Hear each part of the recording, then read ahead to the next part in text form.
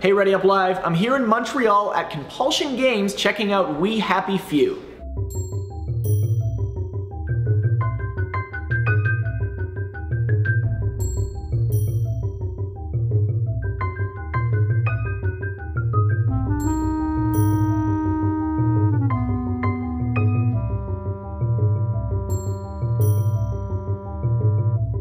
So it's going to be full of all sorts of weird and wonderful things. Um, and uh, what we're going to do is I can basically talk you through the key things we're trying to achieve with this update. Um, and almost all of it relates to player feedback that we've got. It's going to be buggy, but eventually it'll be better. One of you guys gets the couch in here. Um, the team will be coming in and out, but um, you know, just to get coffee and drinks and stuff. And one of you guys to take the conference room. So I'm taking the conference room, about to play We Happy Few. I actually started streaming this last night, had a lot of fun with it. So let's see how the newest build is. So now you just sit down, and it's kind of good because in the world, standing still and not doing anything is, is seen as highly suspicious, but sitting on a park bench is like, nah, you're cool. Like everything's good. This is procedurally generated. We didn't lay this by hand. So you see here that on the left-hand side, you've got the sidewalk appearing as it should to kind of cover up the seam here, but on this side it's not done yet. And that's just the nature of procedural system. We've got other things that are more important to focus on right now. A lot of the player feedback has been like, you know, it's great, the world needs to feel a bit more lived in, it needs to feel a bit more alive. It's like, you know, when you go through a town in The Witcher, you've got your guards and they're going to respond to you, that sort of thing. But you've also got these guys just sitting there sweeping. And they'll just sweep. Just doing this stuff for a while and you don't really care. It's just like a really nice. Um, it, it's like a trick you use to make the world feel more alive while still retaining um, this feeling. So this is like super early implementation. It came in um, came in a couple of weeks ago. We didn't want to make it so that you could go into every building here because then it all gets very similar very quickly. We don't have a team that's big enough to do that. So we created an entire filler building system, which is basically saying okay, we've got these points of interest dotted around, all of these cool things that you can do, and in between them, we massage those areas with these procedurally generated um, filler buildings. But when you save the game and reload it, occasionally this happens. So basically, you can see that inside this house, it's actually just a shell. Um, it's a, it's again very much a trick that we're using to create the illusion of um, a really big fun city to go through. No matter where you are in the game, you can always use a healing item immediately, which people were finding they needed to a lot more frequently. But more importantly, you have got some joy. Ah, snug as a bug on a drug. So this is our new joy effect.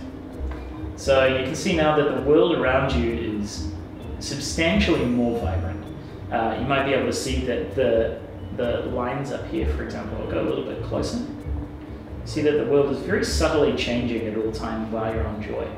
And we really amp up the color and um, the feeling of the world. So we've got the procedurally generated Joy music. You wander around and, you know, we can walk over here and say hello. And Couldn't be better, thanks. Wow, look at you. We've got this weird as shit big thing up here. I can understand what these guys see when they're walking through the world every day, just seeing this amazing, uh, amazing place this guy's going to come in and he's super cool, but if you uh, go around him without being on joy and piss people off, he becomes very, very threatening. But the problem is, as I said, joy doesn't last. So basically, at this point, things are not going super well for me. I mentioned a little bit earlier to you guys that we have this new, um, basically this new UI, which is still a little bit of work in progress. But for example, the old UI looks like looked a bit more like this. This is old, it's not, um, it's going to be fixed in a later update. This is no longer inventory Tetris. Receptionist is out for coffee. Typical.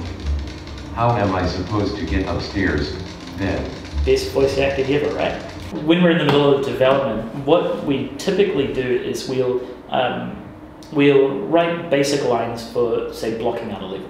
So we'll go through and we'll say, okay, this is the level, this is how we want it to work, this is the logic, this is its purpose, um, and we get it functioning in the game. Once we're really happy with that, um, and you know we, we, talk to everyone along the way, but once we're happy with the blocking that it does what it's supposed to do, uh, we'll go talk to Alex, our narrative director, and he'll say, okay, cool, and he'll write a whole bunch of lines. And what we'll do is we'll use robo voices, so electronic voices basically, to fill in the gaps because there's a lot of work that we have to do to involve like hooking up all of this audio and um, sort of creating a right experience. And it's much easier for us to understand what it feels like and what it should be like if we've got um, robo voices. We could record temp dialogue. Um, we could do that, but it's very expensive and it adds a time delay. Alright, so secret bit of loot. A rubber fetish suit and an electro baton. Rubber cat suit on at this point, which allows me to um, uh, basically uh, stealth through things super easily, which is super, super cool. So now we go downstairs and we find more doctors. Um, and uh, Arthur's basically trying to run away to get to the study to find out what the fuck's been going on. And I thought vampires had to be invited in. so he taunts the doctors and Mace's Hey, what's my mission time? Finally, we found his study, and um, basically, this is going to show a lot of what's going on. It's a cool part of the story that we don't want to reveal, so instead we've made it into a joke about how basically we I redacted it. Um, so, in the main version of the game, you're going to find a lot more about what happened there, but people will have to wait for now. I now know about Gemma. I know that she's been taken away, so obviously she's uncovered something that's a big deal. Um, so you go back and you figure out, okay, so what was it, and you try and trace back her steps to figure out what's been going on. This is a sort of the big question for um, for the main home. Oh, sorry, not the main home. The next update, which doesn't have a name yet. Um, but yeah, that's pretty much that. Pretty covers the the main things that we wanted to try and attempt with this update. Um, and uh, as I said, it's pretty much responding to everything people wanted. So more story, no more inventory Tetris, a lot of quality of life changes that are going to make things uh, way better and allow people to have a lot more fun in the game. Snug as a bug on a drug.